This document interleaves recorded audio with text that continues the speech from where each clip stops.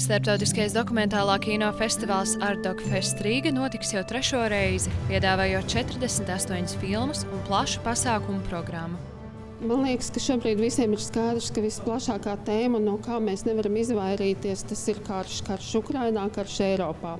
Bet, protams, ka paralēli dzīve notiek un ir arī tādas personiskas um, lietas, kura, kuras cilvēki vai tieši dokumentālisti vēlās atspoguļot savos darbos. 2. martā festivālu atklās Simona Lerenga Vilmonta filma Māja no šķēmbām, kas turklāt šajā gadā izvirzīta Oskara balvai kategorijā labākā pilnmetrāža dokumentālā filma. Plašajā kino sarakstā ir arī trīs filmas, kuras pārstāv Latviju. Viena no tām - 1960. gada meitenes. Tā ir filma par režisors Unas Celmas klases biedrenēm. Pirmo reizi viņa dzīve tika iemūžināta 1995. gadā. Tagad skatītāji uzzinās, kas ar šīm sievietēm ir noticis pēc 30 gadiem. Galvenā tā mana doma tāda, vai viņas ir sevi varējušas piepildīt kā sievietes. Ja viņas ir bijušas mātes, darba biedrenes, ja, cilvēki, kas ir uzņēmušies visus mājas darbus, ja, teiksim, kas ir bijis viņām pašām.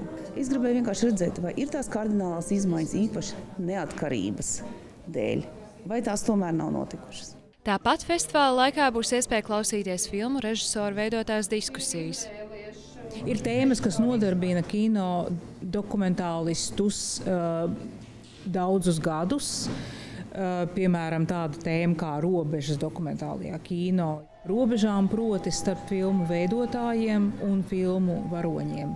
Kādas ir ētiskās un citas izvēles, Nu, un izvairīties no sarunas par karu mēs, protams, nedz varam, nedz arī gribam ja ir pagājis gads, jau kara darbības apstākļos ir nodzīvots gads, un pa šo laiku ir uzkrāta arī kino veidotāju pieredze. Mēs to esam nosaukuši kāda jēga dokumentālists kara laikā, un runāsim par dokumentālā kino veidotāju izvēlēm un īpašajiem izaicinājumiem strādājot tādos apstākļos, kad visapkārt pasaule ir liesmās, kad ir cilvēku ciešanas ir jau kļuvušas par tādu šausminošu ikdienu. Būs arī diskusijas par Latvijas dokumentālā kino iezīmēm un mēģinājumi definēt dokumentālā kino valodu.